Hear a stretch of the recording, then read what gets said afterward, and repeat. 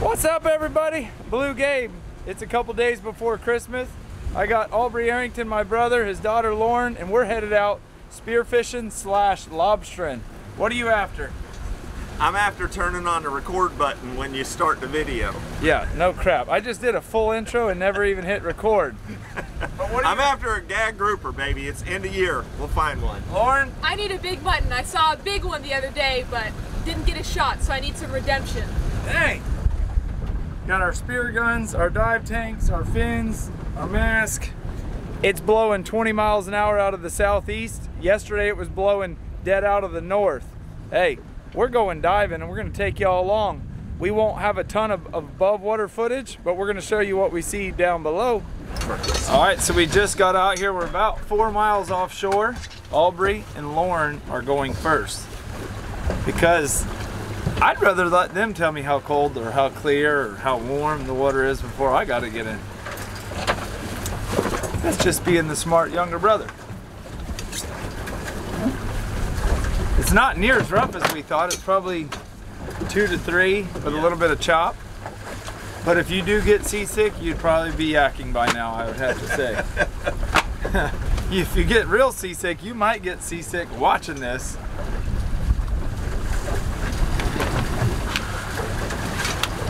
Where are we going, to Tiger? Yeah.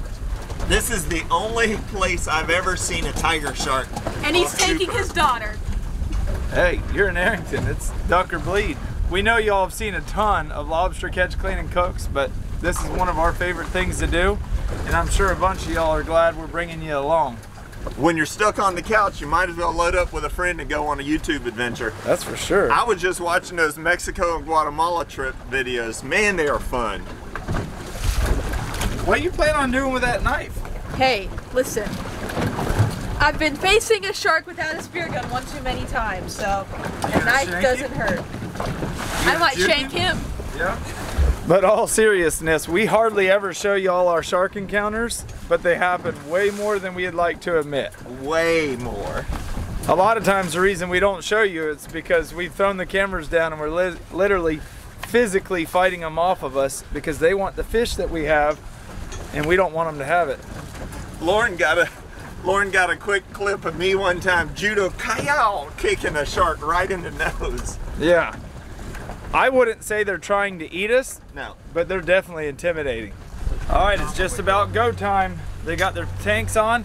So here in Florida, I get a lot of comments asking how we're spearfishing on scuba. In America, and especially in Florida, it's completely legal. I know in some countries like the Bahamas, it's not, but here it is. We have tight regulations on what we can and can't get, but spearing on scuba is completely legal, ethical, and fun. It's really deep where we're at. It would be near impossible to free dive it for 99.9% of humans on Earth. So we tank dive. There's no current today for some reason. Typically we have So after we two to three this, knots of tide. We have zero today. About a hundred yards. Okay, I'm good.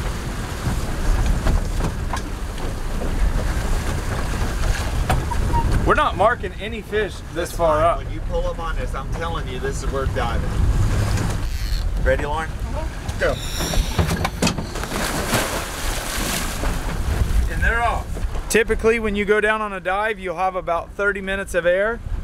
If you see that white buoy, that's how I follow my divers. Wherever that buoy goes, I go.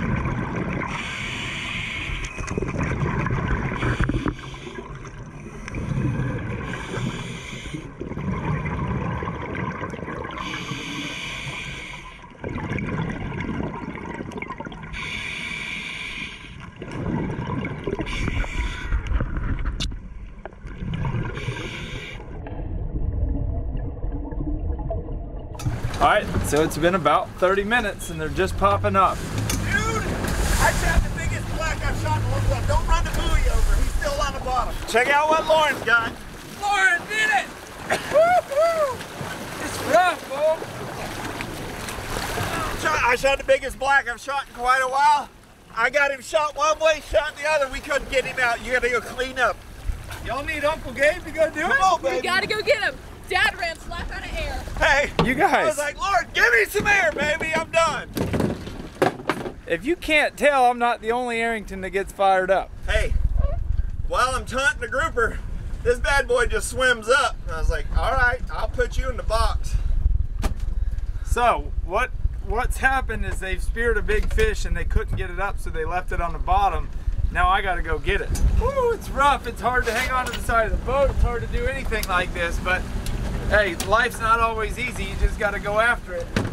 All right, we'll see y'all on the other side.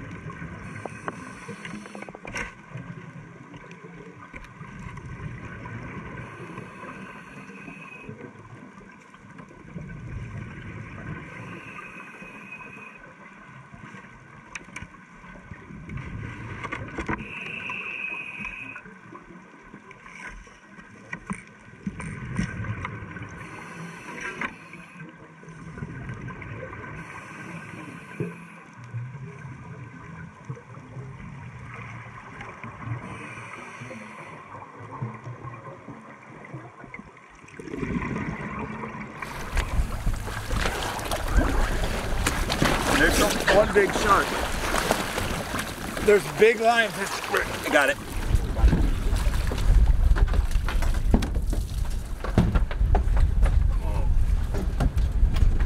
Well, he's in the box now, boys.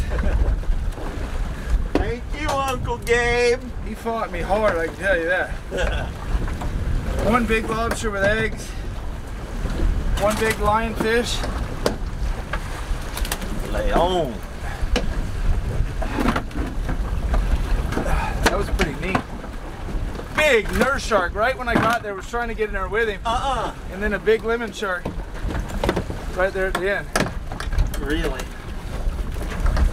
Hey, I told y'all that's the best grouper I shot in a while. That took some work.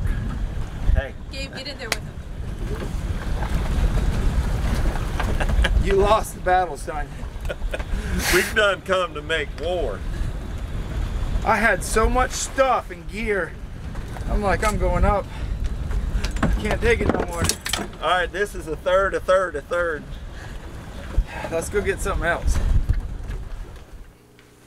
Tell me he doesn't look a little bit different now. That's right. We cleaned him when we got in yesterday at Albrey's house because we split everything. I got half the fish. Look at that nice tail piece. But I wasn't leaving without the head. I think smoked grouper head now is one of my most favorite things in the world to eat. And it's not like what you would think. It's not smoked like, you know, smoked fish dip style fish. It's cooked really, really well. And it tastes amazing. So all I do is a little bit of olive oil, a little bit of sea salt, a little bit of garlic, just like that. I'm gonna go lay it on the grill. Come on, just follow me. Follow me. I know the lighting's not perfect, but it's good enough. I'm gonna let this cook for two and a half hours. Now look at that big boy. So as soon as I got done getting the grouper, I knew I was at the point in the video where I already had like 10 minutes of footage. So I'm like, I gotta cut it at some point and get to the kitchen so you guys understand what's going on. So this big lionfish, when I kicked off that wreck and started going, because I was there to get lobster, because we're going to Georgia tonight to go hunt with my buddy Richard Harris. Now, lu- luckily he loves black grouper, so I have something to bring him besides these three lobster tails. But the beautiful woman behind the camera said they're not going anywhere. They're staying at our house. So she also said she wanted lionfish for breakfast. Now, a lot of people ask me why I don't clip the fins. Well, you don't need to. Just be careful. I use a big knife to avoid them. Just like that.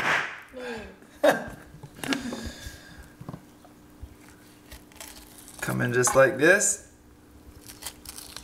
Now, lionfish has probably the cleanest meat you will ever see on a fish, second to hogfish.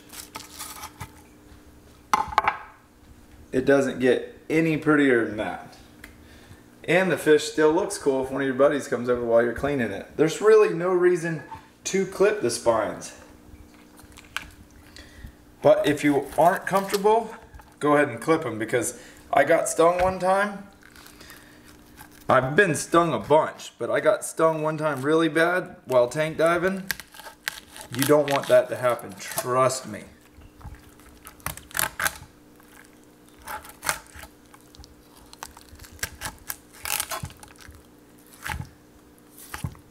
Y'all leave a comment below if you've ever had lionfish for breakfast because that's what Kelly Young of all things requested this morning.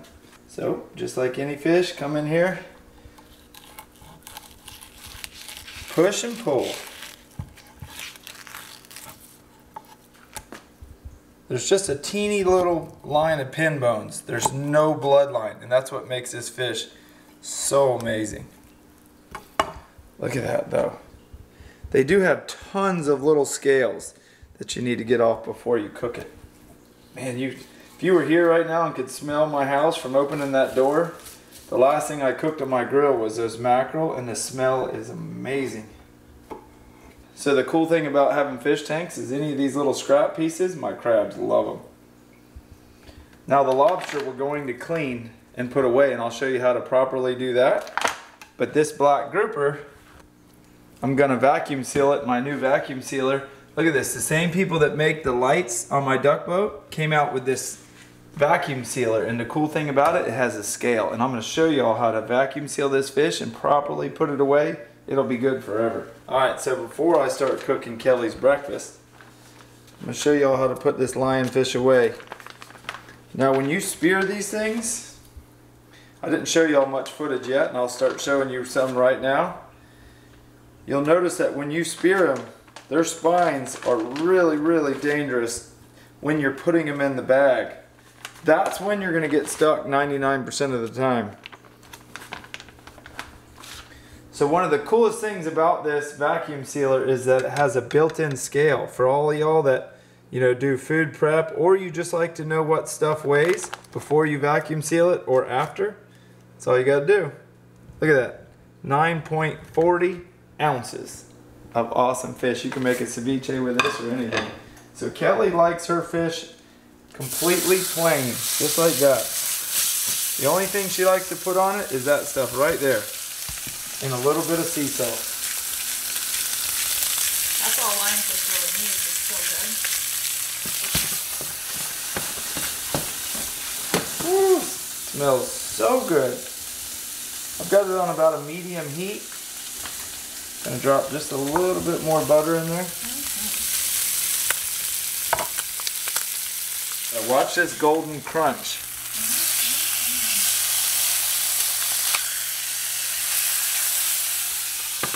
Beautiful, beautiful lionfish. So while we're waiting on that, I'm gonna take this big chunk of black that we shot.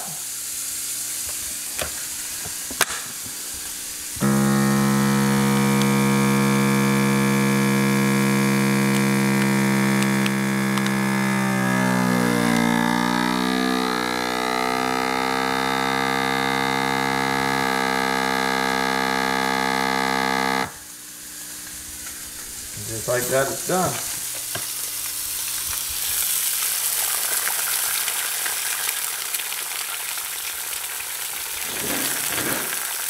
A breakfast for champions. Take this lid, put it right on top, turn that heat down. The fish will finish off and so will the egg. So that's how you properly take care of fish. Get you a good vacuum sealer, fillet the fish, dry the fillets off, vacuum seal them, put them in the freezer, write the date on them, and they'll be good for a long time. A runny yolk with a couple good fillets. Look at that though. What y'all know about that? It's a Floridian breakfast right there. Mm. Breakfast of champions. Whoa, whoa, whoa, whoa! Whoa! I'm digging in. I'm ready. How is it? It's delicious. Lionfish is my top two favorite favorite fish. But are you gonna start tank diving with us? Hold up. Let me show you something. What do you have? This is my Christmas gift to myself. I got a BC, a regulator, all brand spanking new. So I can go catch me some lionfish. But are you ready to dive with Albrey Arrington yet? I mean, I deal with you every day. I can think I can handle your brother. Albrey's on a whole other level. So for those of y'all that know Albrey personally, he's the calmest, coolest, collective, most awesome person ever until he starts to dive and, and things start getting like hectic. It is every man for themselves after that point, and his daughter Lauren will attest to that.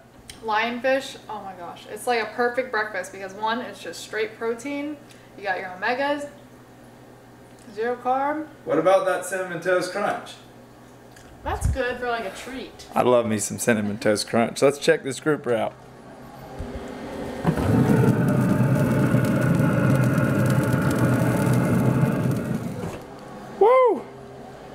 You know that looks good. Hey, that's it. That's all we got for this video. We're headed to Georgia deer hunting tonight. I'm going to get Luke and Jake. Hopefully Jake busts his first deer of the year.